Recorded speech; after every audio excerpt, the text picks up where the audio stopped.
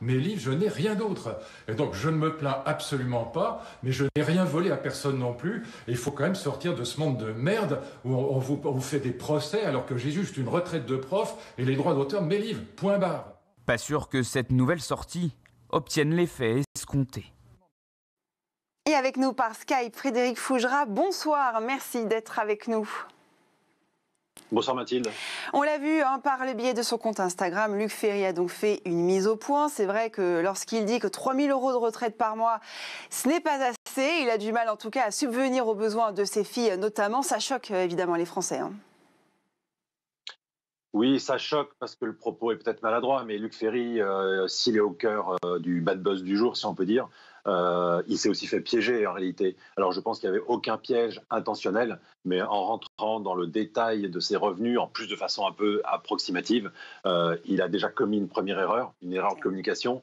Et puis la seconde erreur, c'était à la question y arrivez-vous? Il répond c'est pas une question à laquelle il faut répondre puisqu'il a répondu que non et il a expliqué pourquoi. Et c'est le pourquoi qui est intéressant puisqu'il s'agit de, la scolarité de ses filles. Euh, mais on ne retient que le non, je n'y arrive pas.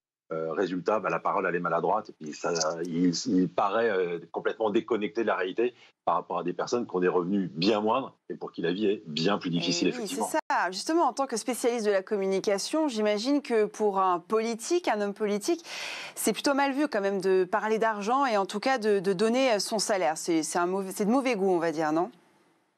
Bah, de, mauvais goût, je ne sais pas. C'est pas notre culture en France. Et tout, on est toujours dans la culture de celui qui a plus par rapport à soi. en réalité, il y a toujours des gens qui ont moins, il y a toujours des gens qui ont plus.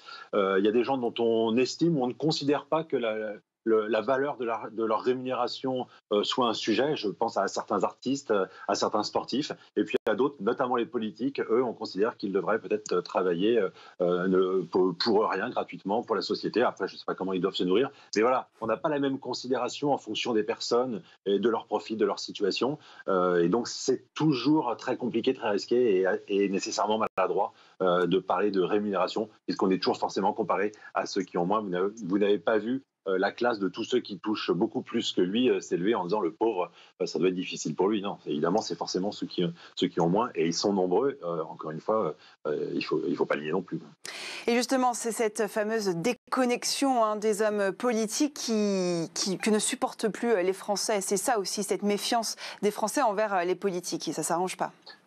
Là, on est d'accord, quand c'est le cas, c'est insupportable. Mm. En fait, c'est insupportable de s'entendre dire ce qu'il faut faire par des, par des donneurs de leçons qui ne respectent pas les leçons. C'est insupportable d'entendre dire il ne faut pas prendre votre voiture quand la personne qui vous le dit descend de sa limousine avec chauffeur euh, pour répondre aux journalistes. Oui, donc oui, oui, c'est absolument insupportable euh, de voir qu'on exige euh, des efforts ou de l'exemplarité de la part de gens qui ne, ne font pas toujours preuve d'exemplarité. Mais là, on a juste assisté à un père de famille qui ne se plaint pas, d'ailleurs, il le dit, il le redit. On lui a demandé si, avec sa retraite, il arrivait à, à financer la scolarité de ses filles. Ben non, il n'arrive pas à financer la, scolarité de ses filles. Il l'a dit simplement, mais évidemment, on ne retient que le fait qu'avec 3 000 euros, il s'en sort pas. Euh, et puis voilà, ça, part très vite pour le bad buzz. Et euh, si la guillotine était encore là, peut-être serait-il déjà ce soir euh, guillotiné. Et puis surtout, quand on parle d'argent, vous l'avez dit en France, c'est toujours un peu touchy, on va dire, comme sujet. Est-ce que c'était une bonne, une bonne idée de sa part, en termes de communication, de prendre la parole sur son compte Instagram pour faire cette espèce de mise au point? Alors ma réponse de communicant, c'est non. Euh, je pense que ce n'est pas une bonne idée de prendre la parole. Euh, il s'est probablement fait du bien en disant foutez-moi la paix. Il a, dû se défouler. Lui, il doit avoir un sentiment d'injustice terrible par rapport à ce bad buzz. Mais en communication, et notamment en communication de crise, on ne prend la parole que pour apporter un élément nouveau, un, fait utile. Alors que là, il n'apporte rien de nouveau. Bien au contraire, il vient alimenter avec une nouvelle séquence euh, de communication le bad buzz euh, donc il alimente lui-même la communication qui va à son encontre. Donc non, c'était certainement pas une, bonne idée. Euh, mieux vaut euh, se taire et attendre que le, vent souffle. Il y a beaucoup d'autres bad buzz qui vont venir se succéder.